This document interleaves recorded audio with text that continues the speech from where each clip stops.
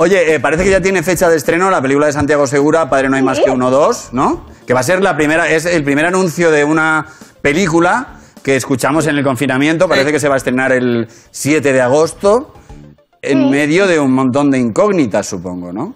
Mm, bueno, yo espero que ya para el 7 de agosto las incógnitas estén despejadas. Yo creo que el anuncio es lo que decimos, ay, por favor, hay que cruzar dedos, poner velas, no sé, hay que hacer de todo para que, para que eso sea posible. Yo soy súper positiva, yo quiero pensar que sí. Ahora, además, si eres el primero en estrenar, no tienes competencia. Solo se te puede ver a tu película. Eso está guay. Bueno, pero No, está- va a ser maravilloso, solo nosotros en todas las salas. en todos los- Todo lleno de vuestra peli. ¿Y qué tal es Santiago como, como director? Pero dime la verdad, o sea, porque todos sabemos cómo es Santiago. Sea, todos, todos los de esa mesa le conocéis, ¿no? Todos lo conocemos. O sea, vengo yo a, a- a desmontar el... No, pero es que yo me entiendo muy bien con él. Yo siempre le echo piropos.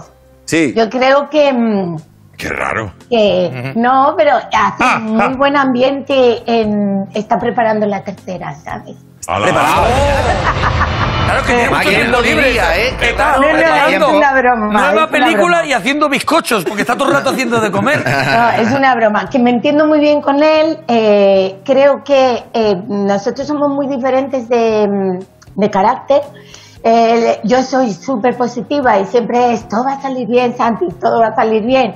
Él es más realista, voy a decirlo así. Entonces, está muy bien que, que hagas este entrecomillado, voy a decirlo así. Claro, que, que es un poco... Lo he hecho eh, así, pero bueno, Sí, sí, no, está bien. es más realista. Él, eh, yo veo el lado bueno, vamos a decirlo así. a nosotros, eh, a Santiago y a mí nos operaron del menisco a la vez. Y entonces... Viví todo ese proceso. Recuerda que soy su mujer en la ficción. Ah, claro, claro. Entonces tuviste, porque estaba amargado porque yo ya estaba aquí caminando y bailando y todo, y él tenía que ir con muletas todavía y decía, es que me pasa todo a mí, ¿por qué tú puedes caminar y yo no? Y, y bueno, en fin.